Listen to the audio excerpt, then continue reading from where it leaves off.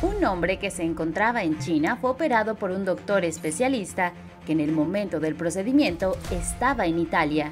¿Cómo es esto posible? A través de la telecirugía, la cual tuvo un avance muy importante a principios de junio. El doctor Shan Shu operó a través de un robot quirúrgico a un paciente con cáncer de próstata. Esta fue la primera cirugía intercontinental en México, el doctor Michel Ruiz Suárez, cirujano ortopedista, fue el encargado de realizar la primera cirugía de realidad mixta en 2020, mientras tenía conexión con doctores de Brasil y Francia.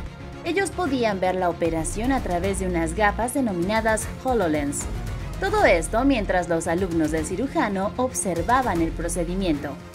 Entonces, en este caso yo tenía puesto el HoloLens durante la cirugía y estaba conectado con una aplicación para que ellos se pudieran conectar y estar viendo lo que, lo que yo estaba haciendo. Aunque parecieran unas gafas de gamer, lo cierto es que no son iguales. La, la diferencia entre la realidad virtual y la realidad mixta es que en la realidad virtual uno se pone los lentes enfrente y es un ambiente virtual, inventado. Uno no puede ver qué está pasando fuera de lo que está proyectado por los lentes. En la realidad mixta no. En la realidad mixta uno se pone el aparato y uno está viendo el ambiente real, pero al mismo tiempo está proyectando algunos elementos o algunos hologramas que son virtuales, que no existen, para poder interactuar el ambiente real con algo virtual.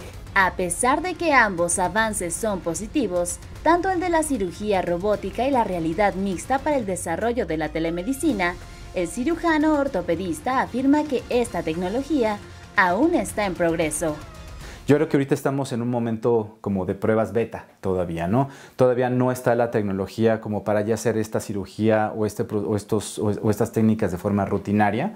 Yo creo que todavía estamos en un momento donde estamos un poco en el ensayo-error Estamos viendo que la tecnología da muy buenas oportunidades, pero pueden presentarse todavía algunos detalles técnicos que, a lo mejor imposibilitan que se pueda dar esta cirugía en tiempo real. En este tipo de operaciones, el Internet es crucial. Las cuestiones técnicas es que sí necesitamos primero un quirófano que tenga una muy buena red de Wi-Fi.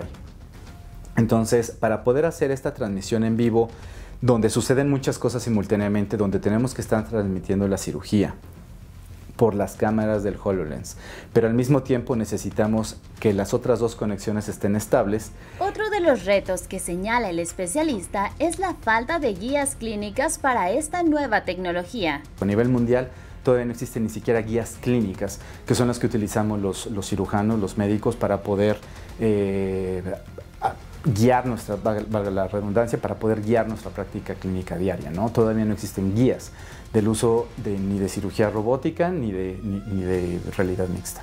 Entre las ventajas más importantes con la aplicación de estas tecnologías está la enseñanza, que acorta distancias y tiempos, además afirma que de existir los recursos, con ellas se podrían realizar cirugías en comunidades lejanas, aunque también destaca que los robots quirúrgicos son muy costosos, pues rondan el millón de dólares, por lo que se convierte en un aparato poco accesible.